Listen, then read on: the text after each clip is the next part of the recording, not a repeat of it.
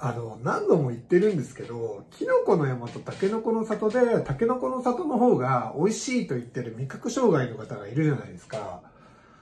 キノコの山の方がチョコレートが多いので、キノコの山の方が美味しいっていうのはすでに確定している事実なんですけど、でもタケノコの方が美味しいというのをこう押したい頭のよろしくない人が世の中にはいて、その人たちはそのタケノコの里の利便性を主張したりするわけですよ。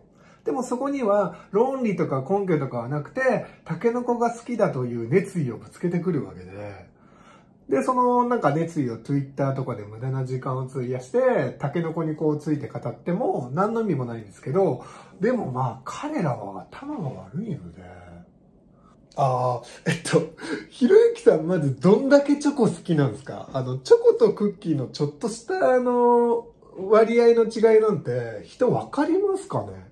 例えばカレー食べますってなって、こっちの方がカレーのルー少し多いから、こっちのカレーの方が美味しい。ルーの少ないカレー選ぶとか味覚障害だ、みたいな感じないですか？それ。いや、それ、別の話してますよね。あの、小麦粉の焼いたやつと白いご飯を比べるのがそもそもおかしいと思うんですけど、うーん、なんだろうな。あの、チョコとクッキーのバランスだと思うんですよ。ひろゆきさんみたく、なんか昔、そのお金がなくてローソンの来店ポイント貯めてたような人って、すいませんね。あの、チョコが多い方が美味しいに決まってるって思い込んでるんですよ。じゃあ、ひろゆかないさんはチョコレート少ない方が美味しいと思うんだったら、クラッカーとかプリッツとかさ、しょうもないなんか食えばいいじゃん。お、プリッツ敵に回しましたね。もともとプリッツの味方ではない。だってさ、プリッツとポッキーだったら、ポッッキーの方がうまいに決まってるじゃん。キャバクラとか行ってもさ、ポッキーとか刺さってんじゃん。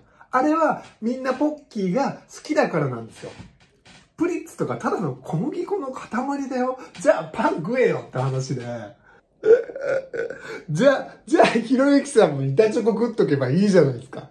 キノコの山とタケノコのさ、里の値段見てみなよ。あの、チョコレートとクッキーだったら、チョコレートの多いキノコの山の方がさ、原材料かかってるわけで、でもさ、頭の悪いそのタケノコの里食べて美味しいって言ってる人ってさ、ぼったくられてるから。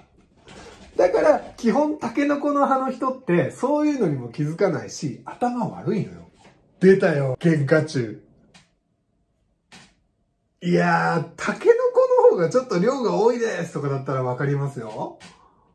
はいはいはいはい。はいはいはいはい。まあ、食感の問題とか見た目もあるんじゃないですかね。でもこういうくだらない話って頭の悪い人とか物を知らない人同士でも盛り上がれるのがいいですよね。なんか子供がこうしりとりをするような感覚で。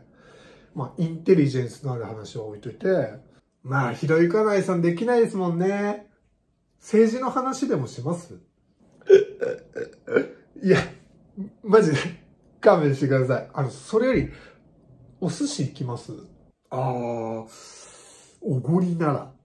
あの、あとさ、あの、ひろゆかないさん、寿司にさ、醤油つけすぎでしょそうなんですよね。バレました。あの、僕多分醤油好きなんですよ。で、なんか塩とかマヨネーズとか、とにかくその調味料が好きで、うちのこう偉い人が作った料理に、なんか調味料こうかけまくって怒られるみたいな。せっかく作ったのになんかまずいみたいな感じじゃん、それ、みたいな感じで言われるので、ははん、お前モテねえな。お、それはなんか死んだ魚の目をした人の名言じゃないですか。はい、すいません。